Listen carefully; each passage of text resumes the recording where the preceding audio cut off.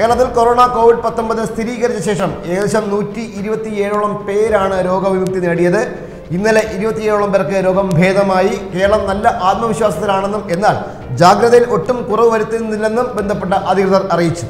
കേരളത്തിൽ corona virus ബാധ സ്ഥിരീകരിച്ച ശേഷം രോഗമുക്തി നേടിയത് നൂറ്റി ഇരുപത്തിനാല് പേർ. ആദ്യ കേസ് സ്ഥിരീകരിച്ച മുതലുള്ള കണക്കാണിത്.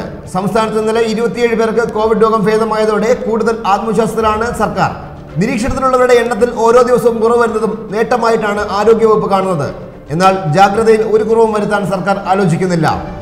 വൈറസ് പൊട്ടിപ്പുറപ്പെട്ട ചൈനയിലെ രോഗത്തിന്റെ പ്രധാന കേന്ദ്രമായിരുന്ന വുഹാനിൽ നിന്നെത്തിയ വിദ്യാർത്ഥിനിക്കായിരുന്നു ആദ്യമായി സംസ്ഥാനത്ത് കോവിഡ് സ്ഥിരീകരിച്ചത്.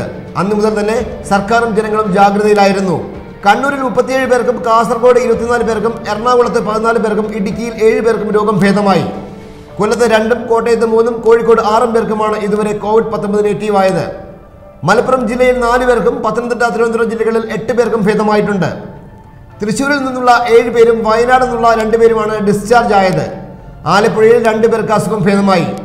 രോഗം മാറുന്നവരുടെ എണ്ണത്തിൽ മറ്റ് സംസ്ഥാനങ്ങളെ അപേക്ഷിച്ച് വലിയ മുന്നേറ്റമാണ് കേരളത്തിലുള്ളത്. നിരീക്ഷണത്തിലുള്ളവരുടെ എണ്ണത്തിൽ വലിയ കുറവ് വരുന്നതും കേരളത്തെ സംബന്ധിച്ച് ആശ്വാസകരമാണ്. അതേസമയം പന്ത്രണ്ട് മണിക്കൂറിനുള്ളിൽ കാസർഗോഡ് അഞ്ച് പേർ രോഗമുക്തരായത് പ്രാധാന്യം പ്രാധാന്യമർഹിക്കുന്നു സംസ്ഥാനത്ത് ഏറ്റവും കൂടുതൽ കോവിഡ് ബാധിതരുള്ള കാസർഗോഡ് ആദ്യ രോഗി ഉൾപ്പെടെ പതിനഞ്ച് പേരാണ് ഇന്നലെ ആശുപത്രി വിട്ടത്. കൊറോണ വൈറസ് ബാധയുടെ രണ്ടാം ഘട്ടത്തിൽ ജില്ലക്കാരായ നൂറ്റി മുപ്പത്തിയെട്ട് പേരാണ് വിവിധ ആശുപത്രികളിൽ ചികിത്സയിലുള്ളത്. കൂടാതെ കേരളത്തിൽ സമൂഹ വ്യാപന സാധ്യത കുറവെന്ന് ഇന്ത്യയിലെ ആരോഗ്യരംഗത്തെ പ്രമുഖ സംഘടനയായ ഐ സി എം ആർ വ്യക്തമാക്കിയതും കേരളത്തിന്റെ ജാഗ്രതയ്ക്കുള്ള നേട്ടമാണ്. എന്നാൽ നിലവിൽ ജാഗ്രതാ കുറവുണ്ടായാൽ പിന്നീട് വലിയ ബുദ്ധിമുട്ടുണ്ടാകുമെന്ന കണക്ക് കൂട്ടലും സർക്കാരിനുണ്ട്. ലോക്ക്ഡൌൺ പിൻവലിക്കുന്നതിന് പിന്നാലെ വിദേശത്തു നിന്നും മറ്റ് സംസ്ഥാനങ്ങളിൽ നിന്നും കൂടുതൽ മലയാളികൾ എത്താൻ സാധ്യതയുണ്ട്. കൂടുതൽ മുൻകരുതൽ നടപടികൾ സർക്കാർ വരും ദിനങ്ങളിൽ തീരുമാനിക്കും. അതിനിടെ ചാവക്കാട് നഗരസഭയുടെ പരിധിയിൽ താമസിക്കുന്ന അതിഥി തൊഴിലാളികൾക്കുള്ള ഉത്തരേന്ത്യൻ ഭക്ഷ്യക്കിറ്റ് വിതരണം ചെയ്തു. മണ്ഡല ഗവൺമെന്റ് സ്കൂളിലെ ക്യാമ്പിൽ വെച്ചായിരുന്നു വിതരണം. നഗരസഭാ പരിധിയിലെ എഴുന്നൂറ് അതിഥി തൊഴിലാളികൾക്കുള്ള ഉത്തരേന്ത്യൻ വിഭവങ്ങൾ അടങ്ങിയ കിറ്റുകളാണ് വിതരണം ചെയ്തത്.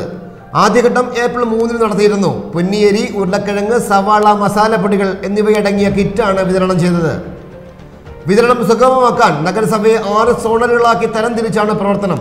കിറ്റിലേക്കുള്ള സാധനങ്ങൾ നാട്ടുകാരുടെയും സന്നദ്ധ സംഘടനകളുടെയും പിന്തുണയോടെ സംഘടിപ്പിച്ചു.